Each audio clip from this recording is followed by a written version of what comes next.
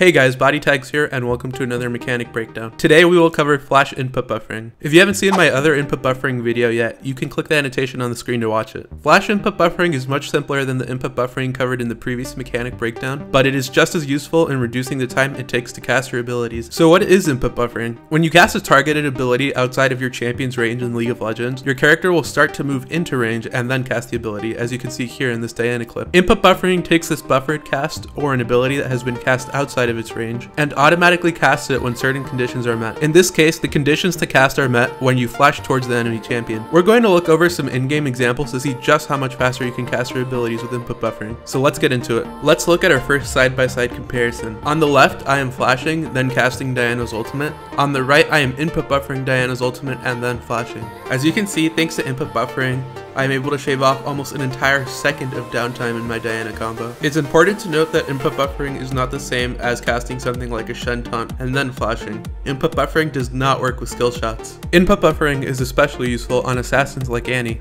You simply cast Tibbers outside of Annie's range, then you flash and you'll immediately feel the difference between input buffering and casting your abilities normally. Throughout my playtest, I found that input buffering helps out in reducing animations and downtime by about 33%. Your results may vary depending on your ping or your reaction speed. One of the biggest factors of a great League of Legends player is their ability to punish their opponents without a chance for them to fight back. Input buffering allows you to do this. It's really hard mechanic to react to because you just have so little time, and it's really great for shaving some downtime off your combos. If you've ever watched a high level player, you've probably wondered how they look so fluid on a champion. More likely than not, they're probably using input buffering. I recommend they start incorporating this into your game and making a habit of input buffering all spells that can be input buffered. I'd also like to give a shout out to Riot MIA. He's a QA analyst over at Riot Games, and I reached out to him and he explained to me that Riot had actually removed input buffering in 5.18. However, he was really nice and he got it fixed in by 5.19. It wasn't until I had to play solo queue